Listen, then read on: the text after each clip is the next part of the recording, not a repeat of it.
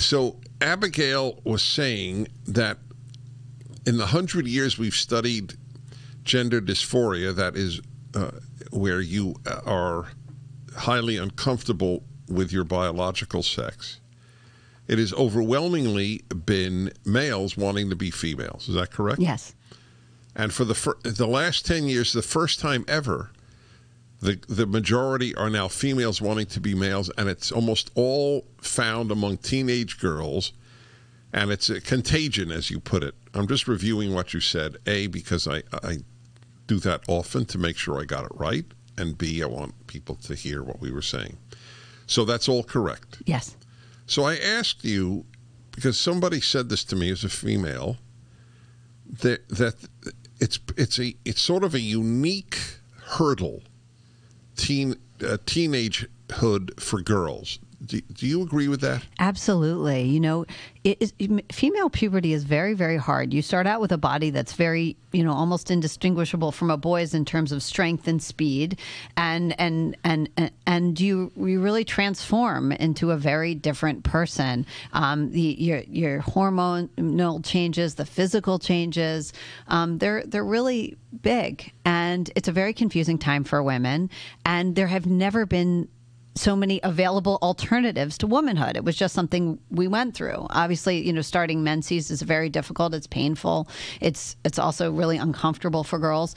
And and now there there are so many influencers online and and the you know social media influencers are more important to this young generation than Hollywood stars. And social media influencers there are a lot of trans influencers online and a lot of them promise that if you just start start a course of testosterone, all your problems will go away. It's a great explanation. Frightening, but but very clear. Are there? What about the voices of those who regret uh, uh, transgendering? Are they allowed even on the internet? You know, Reddit took one of the large, the largest sub um, subreddit, which is a group in which they were able to meet and communicate. This is a fast-growing population, by the way, young women who regret their tr- medical transitions, and Reddit shut it down. Now it reopened it, but I, I am, you know, sure it has the effect of chilling speech when you su- your group is suddenly shut down because trans activists complained. And this is, look, this is a young a uh, population of young people, m- most of them now women who are coming out and regretting, you know, regretted it, who are filled with shame. It, it takes tremendous bravery to talk about what you did to your body and how you regret it. It's extremely embarrassing, and it's very hard for these young women to come out um, and, and, and talk about it. And I was able to interview some of them in my book, and and the stories are are are frightening. You know, double mastectomies they regret, hysterectomies they regret. Well, uh, who is the man? You may know him. He writes for USA Today uh, on occasion, and he has started a group of men. Uh, well, I think transgender in general who regret it, uh, as he does. He he he. I think I don't know, 10, 15 years as a woman, and he deeply regrets the, the lost time and relationships and so on. Are you familiar with him? I assume you're talking about Walt Heyer, but I'm not. Yes, sure. I am. Yeah, That's okay. correct. So yeah, I've talked to him many times. He's I, wonderful. I, I suspect so. So, is he allowed a forum? What is his story?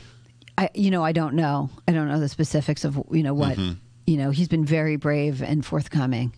Um, right. Well, the uh, USA publishes him because they have no choice. They'd have to fire him as a contributor, but he's the only one who who you ever read in mainstream media, uh, like like the like USA Today. You're in the Wall Street Journal, but he's he's in USA Today saying this stuff. Right. So the the the girl is promised a solution to her problems. Is that is that what you're saying? Yeah, they're they're promised a solution, and, and there are so many lies told around this. I mean, doctors, therapists, teachers celebrate it as if transition is just easy and simple, and it's not. It's really invasive. It's really damaging to the body. It can be, and it comes with all these kind of side effects, not you know, and risks. And perhaps the biggest is the unknown. We actually don't know what testosterone does to the body the female body when it's given it 10 to 40 times what a young woman would normally experience for decades, which is what's required. It's a permanent, you, the, the woman becomes a permanent medical patient. We know it causes severe vaginal and uterine atrophy and risk of endometrial cancer, but we're just learning about all the, the risks. What percentage do you think stay male and are happy about it? Or, or it's too early to know. It's a little too early to know. We we can see a lot of look. A lot of these young women they don't look like they have gender dysphoria because first of all they didn't have it in childhood, and second and, and second of all, look we, we know what you know what they used to call transsexuals. They didn't come out because they're friends. They certainly didn't do it to be to be celebrated. These were people who sincerely That's had right, this yes. profound discomfort. So we're dealing with a very different situation, and and and one where that transition is l- much less likely to be helpful to. Are you allowed to say, you say your your 12 year old daughter says, I'm a boy. Are you allowed now to even say, look, we love you, but you're really a girl? Can you say that even today? Can a therapist say that?